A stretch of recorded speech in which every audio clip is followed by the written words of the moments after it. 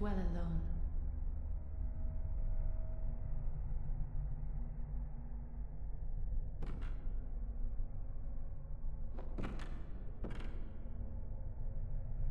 Oh, I know very well how the secrets beckon so sweetly.